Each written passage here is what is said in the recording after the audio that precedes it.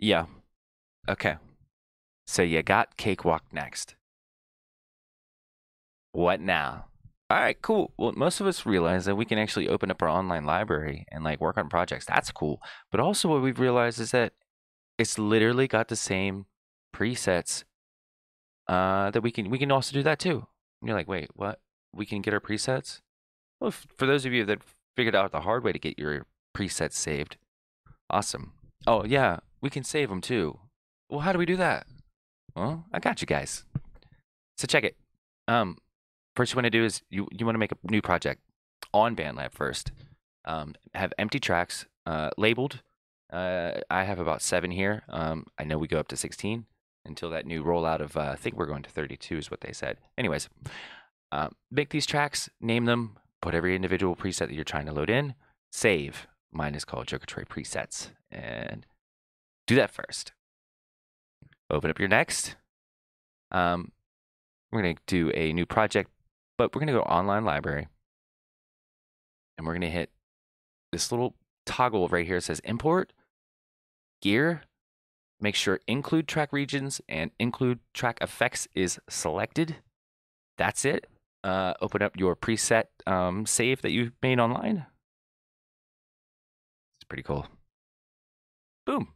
Every single one that I have there is right there, minus this retarded reverb bus. I don't understand why we have that. Anyway, so I got all of these all right here, ready to go. They have, uh, move this thing up here to the top. That's so annoying. They all have every single preset saved precisely the way that I have them in BandLab. And there you go. That's how you do that. Uh, preset builds and effects chains, if you will, are called templates in this um, program. Uh, I don't understand uh, why we're going to call that template, but either way, it's it is what it is. So these are called track templates. Uh, how we save them.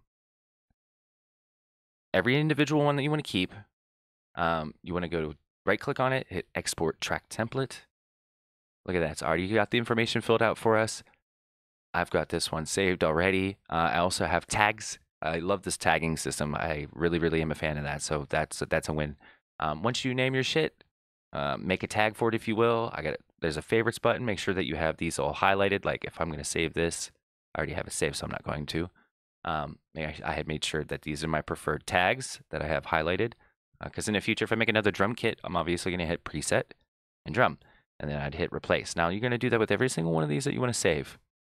Um, and that will save the templates. Now, what we're going to do in the, f- say like uh, whenever we're ready, because I already got these all loaded up. How do I load these in? Well, you just go to insert, track template, and I have them all saved up underneath presets, and boom, they're right there. And what that will do is that'll actually drop an empty track with your preset to do with whatever you need to do.